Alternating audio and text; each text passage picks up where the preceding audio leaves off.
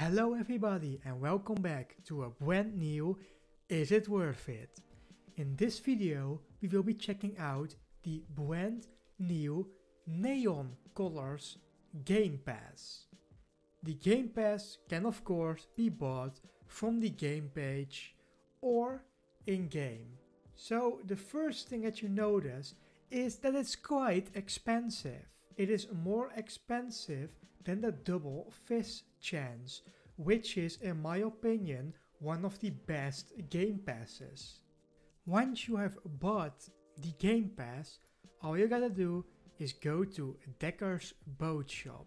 Go to the boat that you would like to change and what you notice is these little color icons on the bottom. When you click on them, you can change the colors. The neon colors that you just bought are all the way at the bottom.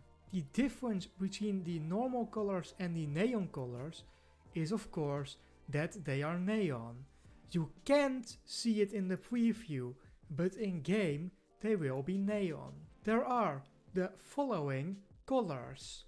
Red, orange, another orange, dark yellow, yellow, green, dark green, blue, dark blue, a mix between blue and purple, purple, pink, black, grey and white.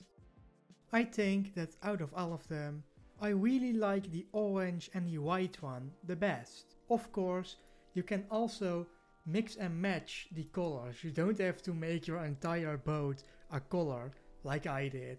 I probably suggest not using your entire neon colors for an entire boat.